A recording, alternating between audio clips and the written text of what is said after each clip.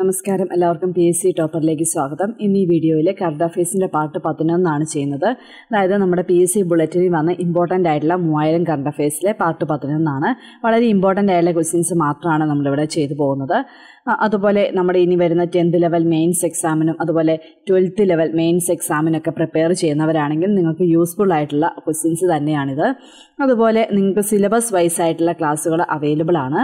നമ്മുടെ S S C R T textbook ക്ലാസ്സുകൾ നിങ്ങളുടെ ചാനലിൽ സ്ഥിരമായിട്ട് കാണുന്നവരായിരിക്കും. അതുപോലെ ഇനി എസ് എസ് സി ആർ ടിയുടെ ക്വസ്റ്റ്യൻ പൂളുകളൊക്കെ നമ്മൾ സോൾവ് ചെയ്യാറുണ്ട്. അത് അൺഅക്കാഡമിയിലാണ് ചെയ്യുന്നത്. ആ ഒരു പ്ലാറ്റ്ഫോമിൽ ഫ്രീ ആയിട്ടാണ് ചെയ്യുന്നത്. നിങ്ങൾക്ക് നിഖിലാറ്റൻ എന്ന് പറഞ്ഞ റെഫറൽ കോഡ് യൂസ് ചെയ്താൽ മതി. ക്ലാസ്സുകൾ ഫ്രീ ആയിട്ട് അറ്റൻഡ് ചെയ്യാവുന്നതാണ്.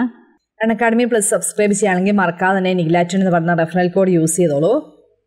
നമുക്ക് ബാച്ച് കോഴ്സുകളൊക്കെ അവൈലബിൾ ആണ്. അപ്പോൾ ഇപ്പോഴാണെങ്കിൽ സ്പെഷ്യൽ പ്രൈസ് വീക്കാണ് നിങ്ങൾക്കിപ്പോൾ പന്ത്രണ്ട് മാസത്തേക്ക് എടുക്കുകയാണെങ്കിൽ ഏഴായിരത്തി അഞ്ഞൂറ്റി എഴുപത്തിനാല് രൂപയാണ് ആകുന്നത്. ഈ ഒരു ഓഫർ ഇരുപത്തഞ്ചാം തീയതി തൊട്ട് നവംബർ മുപ്പതാം തീയതി വരെയാണ്. അപ്പോൾ നിങ്ങൾ സബ്സ്ക്രൈബ് ചെയ്യുകയാണെങ്കിൽ ഇപ്പോൾ തന്നെ സബ്സ്ക്രൈബ് ചെയ്യാൻ നോക്കുക. പന്ത്രണ്ട് മാസത്തേക്കാണ് ഏഴായിരത്തി അഞ്ഞൂറ്റി എഴുപത്തിനാല് രൂപയാണ്. അതുപോലെ ബാച്ച് കോഴ്സുകളൊക്കെ അവൈലബിൾ ആണ്. പുതിയ ബാച്ചാണ് ലക്ഷ്യം എഴുപത്തഞ്ച് ദിവസത്തെ ബാച്ച് കോഴ്സാണ് ഹൈക്കോർട്ട് അസിസ്റ്റന്റ് പേപ്പർ ഒന്നിന് വേണ്ടിയാണ്. അതുപോലെ നവംബർ ഇരുപത്തി അഞ്ചിന് സ്റ്റാർട്ട് ചെയ്തിട്ടുണ്ട്. അതുപോലെ ആരംഭം നൂറ് ദിവസത്തെ ഫൗണ്ടേഷൻ ബാച്ചാണ് ഫോർ ടെൻത്ത് ലെവൽ എക്സാമിന് വേണ്ടിയുള്ളതാണ്. നവംബർ ഇരുപത്തിനാലിന് സ്റ്റാർട്ട് ചെയ്തിട്ടുണ്ട്. ദിശ അറുപത് ദിവസത്തെ ബാച്ച് കോഴ്സാണ് ട്വൽത്ത് ലെവൽ എക്സാമിന് വേണ്ടിയുള്ളതാണ്. നവംബർ പതിനേഴിന് സ്റ്റാർട്ട് ചെയ്തിട്ടുണ്ട്. അതുപോലെ തന്നെ സിഇഒ എക്സാമിന് വേണ്ടി നവംബർ പത്തിന് ദിശ എന്ന പേരിൽ കോഴ്സ് സ്റ്റാർട്ട് ചെയ്തിട്ടുണ്ട്. അതുപോലെ ദൗത്യം നൂറ്റൻപത് ദിവസത്തെ ബാച്ച് കോഴ്സാണ് ബിവറേജ് കോർപ്പറേഷൻ അസിസ്റ്റന്റ് എക്സാമിന് വേണ്ടിയാണ് നവംബർ ഫോർത്തിന് സ്റ്റാർട്ട് ചെയ്തിട്ടുണ്ട്. അതുപോലെ ചേതാവ് പ്രയാണം ഇതെല്ലാം പുതിയ കോഴ്സുകളാണ് നമുക്ക് ടെസ്റ്റ് സീരീസ് ഒക്കെ അവൈലബിൾ ആണ്. സൂപ്പർ തേർട്ടി സീരീസ് ഉണ്ട്. നമുക്ക് നവംബർ ട്വന്റി നയൻത്തിനാണ് വരുന്നത്. ജോഗ്രഫിയിലെ മുപ്പത് ക്വസ്റ്റ്യൻസ് മുപ്പത് മിനിറ്റ് ആണ് അപ്പോൾ മാക്സിമം എല്ലാവരും അറ്റൻഡ് ചെയ്യാൻ നോക്കുക. ടെസ്റ്റ് ടൈം എട്ട് പി എമ്മിനാണ് അതിനുശേഷം നമുക്ക് ടെസ്റ്റ് അനാലിസിസ് ഉണ്ട് ഒമ്പത് പി എമ്മിന് അപ്പോൾ ഫസ്റ്റ് റാങ്കുകാർക്ക് ആയിരത്തി അഞ്ഞൂറ് രൂപയുടെ ആമസോൺ ഗിഫ്റ്റ് കാർഡാണ് സെക്കൻഡ് റാങ്കുകാർക്ക് ആയിരം രൂപയുടെ ഗിഫ്റ്റ് കാർഡാണ് തേർഡ് റാങ്കുകാർക്ക് അഞ്ഞൂറ് രൂപയുടെ ഗിഫ്റ്റ് കാർഡാണ് അതുപോലെ നമുക്ക് ഫ്രൈഡേ കറണ്ട് അഫയേഴ്സ് ടെസ്റ്റ് ഉണ്ട്. എല്ലാ ഫ്രൈഡേസും മുപ്പത് ക്വസ്റ്റ്യൻസ് മുപ്പത് മിനിറ്റ് ആണ് അതുപോലെ അൺ അക്കാഡമി പ്ലസിന്റെ ഫീച്ചേഴ്സ് ആണെങ്കിൽ complete exam preparation regular doubt clear sessions free test series weekly free mock test സിലബസിന്റെ full coverage ഒക്കെ നമുക്ക് അവൈലബിൾ ആണ്. അപ്പോൾ നമുക്ക് പന്ത്രണ്ട് മാസത്തേക്ക് എണ്ണായിരത്തി നാനൂറ്റി പതിനഞ്ച് രൂപയാണ് പേയ്മെന്റ് വരുന്നത്. അതുപോലെ unlimited P D F notes ഒക്കെ നമുക്ക് അവൈലബിൾ ആണ്. ഇതൊക്കെയാണ് അൺ അക്കാഡമിയുടെ പ്രധാന ഫീച്ചേഴ്സ് അതുപോലെ പേയ്മെന്റുമായിട്ട് ബന്ധപ്പെട്ട കാര്യങ്ങൾ. നമുക്ക് ഇന്നത്തെ ക്വസ്റ്റ്യൻസിലേക്ക് കടക്കാം. രണ്ടായിരത്തി ഇരുപത്തിയൊന്നിലെ ലോക പരിസ്ഥിതി ദിനത്തിന്റെ പ്രമേയം എന്താണ്? രണ്ടായിരത്തി ഇരുപത്തിയൊന്നിലെ ലോക പരിസ്ഥിതി ദിനം. ലോക പരിസ്ഥിതി ദിനം എന്നാണ്. അത് ജൂൺ അഞ്ചാണ് അല്ലേ? അപ്പോൾ ലോക പരിസ്ഥിതി ദിനത്തിന്റെ പ്രമേയമാണ് എക്കോ സിസ്റ്റം റീസ്റ്റോറേഷൻ. രണ്ടായിരത്തി ഇരുപത്തിയൊന്ന് ലോക പരിസ്ഥിതി ദിനത്തിന്റെ പ്രമേയം എന്താണ്? എക്കോ സിസ്റ്റം റീസ്റ്റോറേഷൻ ആണ് അടുത്തത് ഇന്ത്യ തദ്ദേശീയമായി വികസിപ്പിച്ചെടുത്ത ആദ്യത്തെ മൊബൈൽ ആപ്പ് സ്റ്റോർ ഏതാണ്? ഇന്ത്യ തദ്ദേശീയമായി വികസിപ്പിച്ചെടുത്ത ആദ്യത്തെ മൊബൈൽ ആപ്പ് സ്റ്റോർ ആണ് മൊബൈൽ സേവ ആപ്പ് സ്റ്റോർ. ഏതാണ്? Mobile Seva app store. അടുത്തത് രണ്ടായിരത്തി ഇരുപത്തിയൊന്നിലെ കേരള ചരിത്രത്തിന്റെ ഇരുപത്തി മൂന്നാമത് മന്ത്രിസഭ അധികാരമേറ്റത് എന്നാണ്. രണ്ടായിരത്തി ഇരുപത്തിയൊന്നിൽ കേരള ചരിത്രത്തിലെ തന്നെ ഇരുപത്തി മൂന്നാമത്തെ മന്ത്രിസഭ അധികാരമേറ്റത് രണ്ടായിരത്തി ഇരുപത്തൊന്ന് മെയ് ഇരുപതിനാണ്. രണ്ടായിരത്തി ഇരുപത്തൊന്ന് മെയ് ഇരുപതിന് ഇലക്ഷൻ നടന്ന് രണ്ടായിരത്തി ഇരുപത്തൊന്ന് ഏപ്രിൽ ആറിനാണ് അല്ലേ പതിനാറാമത്തെ നിയമസഭാ ഇലക്ഷൻ എന്ന് പറയാം. അതുപോലെ പതിനഞ്ചാമത്തെ നിയമസഭയാണ് രൂപം കൊണ്ടത്. അടുത്തത് കേരളത്തിലെ എത്രാമത്തെ ഗവർണറാണ് ആരിഫ് മുഹമ്മദ് ഖാൻ. കേരളത്തിലെ ഇരുപത്തിരണ്ടാമത്തെ ഗവർണറാണ് ആരിഫ് മുഹമ്മദ് ഖാൻ. ഓർത്തു വയ്ക്കുക കേരളത്തിലെ ഇരുപത്തിരണ്ടാമത്തെ ഗവർണർ ആരാണ്? അത് ആരിഫ് മുഹമ്മദ് ഖാൻ ആണ്. അടുത്തത് കേരള നിയമസഭയുടെ ഡെപ്യൂട്ടി സ്പീക്കറായ ചിറ്റയം ഗോപകുമാർ ഏത് മണ്ഡലത്തിൽ നിന്നാണ് ജയിച്ചത്? കേരള നിയമസഭയുടെ ഡെപ്യൂട്ടി സ്പീക്കറായ ചിറ്റയം ഗോപകുമാർ ജയിച്ചത് അടൂറിൽ നിന്നാണ്. എവിടെ നിന്നാണ്? അടൂർ മണ്ഡലമാണ് ഓർത്തുവെക്കുക അപ്പോൾ ഡെപ്യൂട്ടി സ്പീക്കർ ചിറ്റയം ഗോപകുമാറാണ് അടുത്തത് കേരള നിയമസഭയിൽ പ്രതിപക്ഷ നേതാവ് വി ഡി സതീശൻ വിജയിച്ച മണ്ഡലം ഏതാണ്?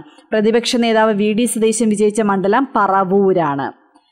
അടുത്തത് കേരള നിയമസഭയിലെ അവസാനത്തെ ആംഗ്ലോ ഇന്ത്യൻ പ്രതിനിധി ആരായിരുന്നു? കേരള നിയമസഭയിലെ അവസാനത്തെ ആംഗ്ലോ ഇന്ത്യൻ പ്രതിനിധിയാണ് ജോർജ് ഫെർണാണ്ടസ്. നമുക്കറിയാം കേരള നിയമസഭയിൽ ഇപ്പോൾ ആംഗ്ലോ ഇന്ത്യൻ പ്രതിനിധി ഇല്ല അല്ലേ? അതായത് നൂറ്റി നാലാമത്തെ അമെൻമെന്റ് പ്രകാരം ആംഗ്ലോ ഇന്ത്യൻ പ്രതിനിധി എന്ന് പറയുന്ന ആ ഒരു അത് നിർത്തലാക്കിയിട്ടുണ്ടായിരുന്നു. ഇന്ത്യൻ കോൺസ്റ്റിറ്റ്യൂഷൻ നിർത്തലാക്കി. അപ്പോൾ ഒന്ന് ഓർത്ത് വയ്ക്കാം അപ്പോൾ നമുക്ക് ലോകസഭയിലേക്കും ആംഗ്ലോ ഇന്ത്യൻ പ്രതിനിധികളില്ല. അതുപോലെ തന്നെ നിയമസഭയിലേക്കും ഇനി ആംഗ്ലോ ഇന്ത്യൻ പ്രതിനിധികൾ ഉണ്ടാവില്ല. അടുത്തത് സ്പീക്കർ തെരഞ്ഞെടുപ്പിൽ എം ബി രാജേഷിന് എതിർ സ്ഥാനാർത്ഥി ആരായിരുന്നു? പി സി വിഷ്ണുനാഥ് ആയിരുന്നു സ്പീക്കർ തെരഞ്ഞെടുപ്പിൽ എം ബി രാജേഷിന്റെ എതിർ സ്ഥാനാർത്ഥി. അപ്പോൾ ഇപ്പോഴത്തെ കേരള നിയമസഭയുടെ സ്പീക്കർ ആരാണ്? എം ബി രാജേഷാണ് അദ്ദേഹത്തിന്റെ മണ്ഡലം തൃത്താലയാണ്. അടുത്ത ക്വസ്റ്റ്യൻ ഒ എൻ വി സ്മാരക പുരസ്കാരം രണ്ടായിരത്തി ഇരുപതിൽ ലഭിച്ചത് ആർക്കാണ്? ഒ എൻ വി സ്മാരക പുരസ്കാരം രണ്ടായിരത്തി ഇരുപതിലെ ജേതാവ് കെ സച്ചിദാനന്ദനാണ്. ആരാണ്? കെ സച്ചിദാനന്ദൻ. അടുത്തത് കേരളത്തിലെ സമ്പൂർണ രക്തദാന ജില്ല ഏതാണ്? കേരളത്തിലെ സമ്പൂർണ രക്തദാന ജില്ല പാലക്കാടാണ്. അടുത്ത ക്വസ്റ്റ്യൻ പതിനേഴാം ലോക്സഭയിലെ പ്രോട്ടേം സ്പീക്കറായി തെരഞ്ഞെടുക്കപ്പെട്ടത് ആരാണ്? വീരേന്ദ്രകുമാറാണ്. പതിനേഴാമത്തെ ലോക്സഭ രണ്ടായിരത്തി പത്തൊൻപതിലാണ് നിലവിൽ വന്നത്. അതിലെ പ്രോട്ടേം സ്പീക്കർ വീരേന്ദ്രകുമാറാണ്. അടുത്തത് ഇന്ത്യയിൽ ആദ്യമായി എയർ ടാക്സി ആരംഭിച്ച സംസ്ഥാനം ഏതാണ്? ഇന്ത്യയിൽ ആദ്യമായി എയർ ടാക്സി ആരംഭിച്ച സംസ്ഥാനം അത് ഹരിയാനയാണ്. ഓർത്തുവയ്ക്കുക ഹരിയാന. അടുത്ത ക്വസ്റ്റ്യൻ കേന്ദ്ര കായിക മന്ത്രാലയത്തിന്റെ ആഭിമുഖ്യത്തിൽ വിന്റർ സ്പോർട്സ് അക്കാദമി സ്ഥാപിക്കുന്നത് എവിടെയാണ്? വിന്റർ സ്പോർട്സ് അക്കാദമി സ്ഥാപിക്കുന്നത് ഗുൽമർഗിലാണ്. ഓർത്തുവയ്ക്കുക ജമ്മു കാശ്മീരിലെ ഗുൽമർഗിലാണ് വിന്റർ സ്പോർട്സ് അക്കാദമി സ്ഥാപിക്കുന്നത്. അപ്പോൾ എയർ ടാക്സി ഓർത്തുവയ്ക്കുക ഹരിയാനയാണ്.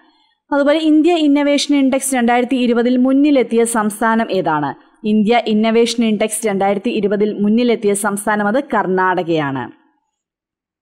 അടുത്തത് എന്റെ ഇന്ത്യ എന്റെ പ്രണയ വിസ്മയം എന്ന പുസ്തകം രചിച്ചത് ഗോപിനാഥ് മുതുകാടാണ്. ഇന്ത്യ എന്റെ പ്രണയ വിസ്മ വിസ്മയം എന്ന പുസ്തകം രചിച്ചത് ആരാണ്? അത് ഗോപിനാഥ് മുതുകാടാണ്. അടുത്ത ക്വസ്റ്റ്യൻ കേരളത്തിലെ സമ്പൂർണ വനിതാ പാസ്പോർട്ട് സേവാ കേന്ദ്രം ആരംഭിക്കുന്നത് എവിടെയാണ്? കേരളത്തിൽ സമ്പൂർണ വനിതാ പാസ്പോർട്ട് സേവാ കേന്ദ്രം ആരംഭിക്കുന്നത് തൃപ്പൂണിത്തുറയിലാണ്.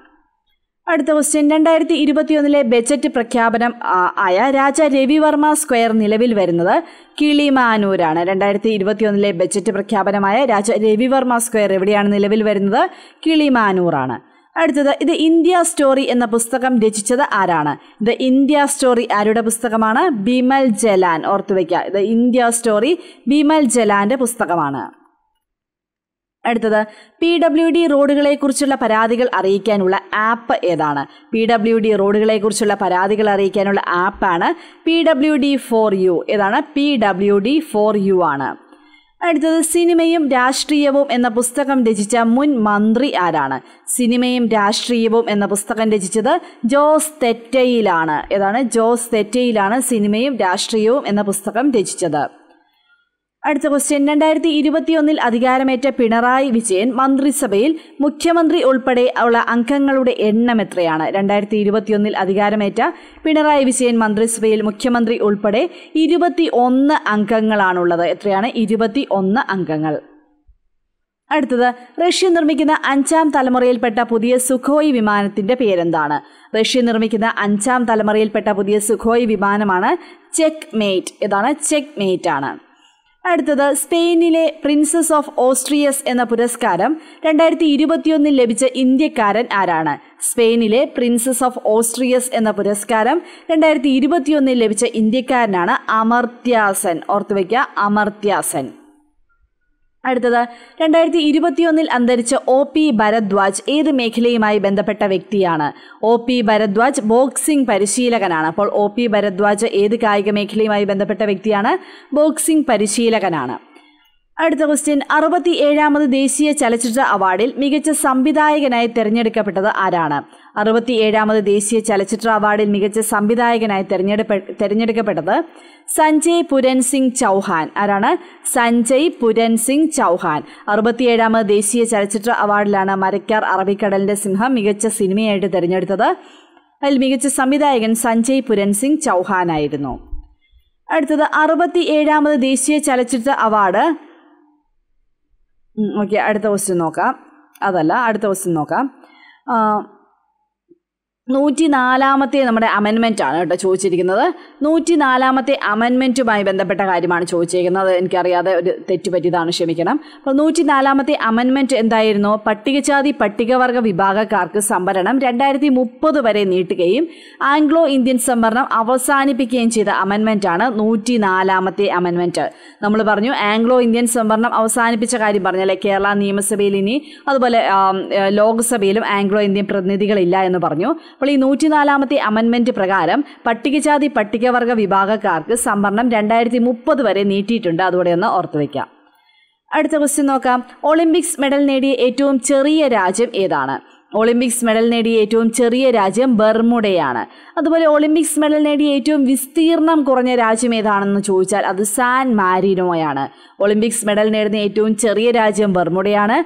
ഒളിമ്പിക്സ് മെഡൽ നേടുന്ന ഏറ്റവും വിസ്തീർണം കുറഞ്ഞ രാജ്യം ഏതാണെന്ന് ചോദിച്ചാൽ സാൻ മാരിനോ. അടുത്തത് രണ്ടായിരത്തി ഇരുപത്തിയൊന്നിലെ ലോക പൈതൃക പട്ടികയിൽ ഇടം നേടിയ രുദ്രീശ്വരം ക്ഷേത്രം ഏത് സംസ്ഥാനത്താണ്?